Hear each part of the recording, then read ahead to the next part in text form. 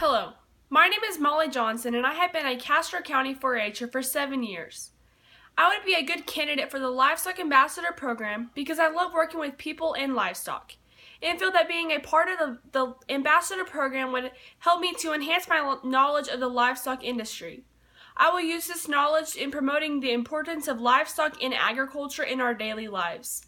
This opportunity will also help me determine my college plan and future career path.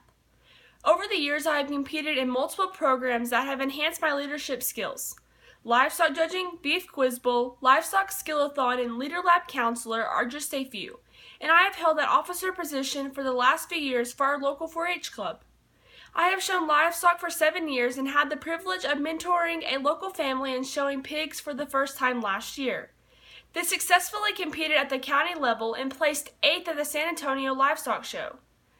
This year, I helped them pick out steers and also have the opportunity to help my little sister in showing her first steer project. Being chosen as a livestock ambassador would help give me the opportunity in mingling with fellow 4-Hers that share the same passion as I do. We can build our, our leadership skills, help others in understanding the importance of livestock industry and agriculture in general. Thank you for this opportunity.